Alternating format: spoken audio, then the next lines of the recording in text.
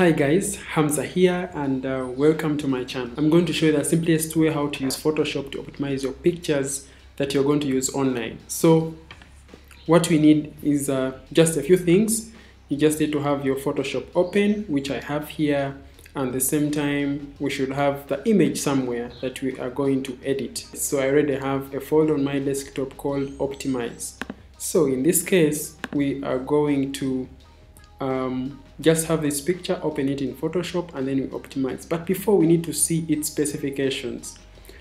Uh, apparently this picture is over, this picture is 5000 pixels in the width and 3000 pixels in the height. It's up to 7 MBs. So uploading this picture whether on our website or on your Facebook account or Instagram is really really big. If you have many of these pictures of this size they would slow down your website. So uh, the best would be having this picture below 1 MB. We could have it like about 100 kbs or about 200 kbs something like that what we need to do is basically open the picture with photoshop open with photoshop which I have already open here on my desktop. So we have our picture here.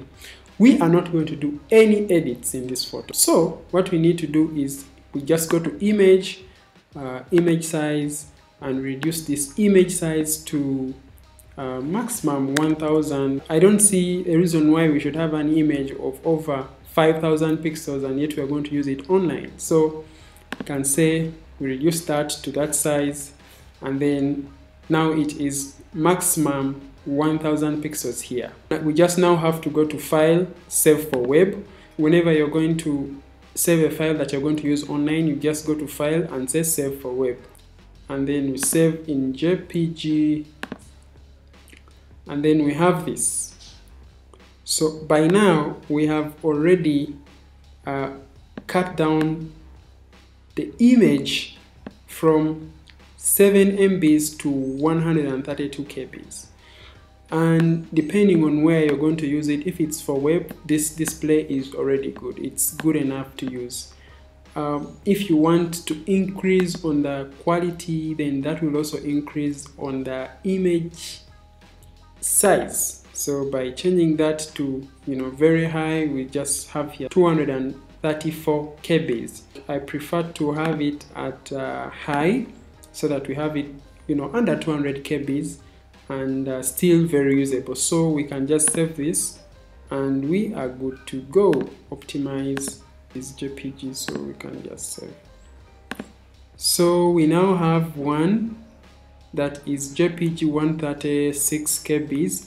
When you open it, that's how it looks like. Still really looks neat and clean.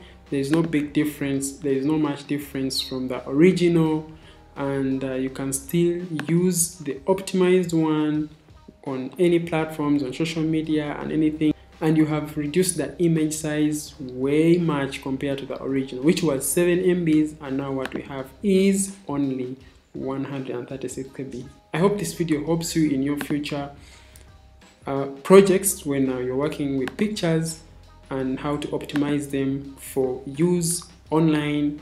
So guys, I wish you well. I'll see you in my next tutorial.